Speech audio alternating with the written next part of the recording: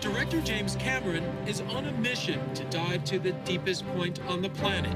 The voyage deep into the sea. Film director James Cameron has made history. It's 36,000 feet down. That is seven miles to the bottom. Mount Everest could fit in a trench with 7,000 feet to spare.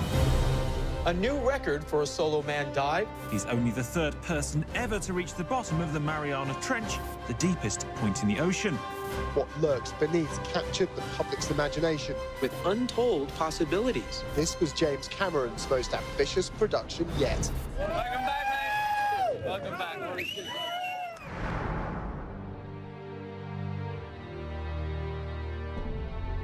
I've seen some pretty astonishing things in the depths. Things that fill your soul with wonder. Cousteau said it best. He said if we knew what was there, we wouldn't have to go. Challenger Deep in the Mariana Trench is the deepest place on Earth, seven miles straight down. This is the last great frontier of our world. It's my dream to build a machine to take us there. We're actually going to do things that the governments of the world cannot now do. We're going to do something nobody else can do. When you dive to the bottom of the ocean, you have to face the fact that there are a hundred horrible ways to die.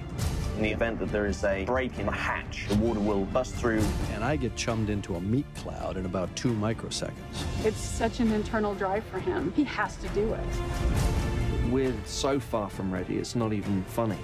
We have to pit ourselves against the elements. We've got to dive. And here we go. Moment of truth. Uh-oh, that's not good. Got a lot of failures here. We got a problem. We need to really know if it's an emergency. Pretty soon you realize you're in this metal coffin. The sub is consistently getting weaker and weaker. Maybe just risks shouldn't be taken. Maybe the consequences to our families are too great. I'm ready to descend when you are over. Exploration comes with risk, but it's a risk that's worth something. It's that need to see what's there beyond the edge of your lights, to see the unknown for yourself. It's the force that drives all exploration, curiosity,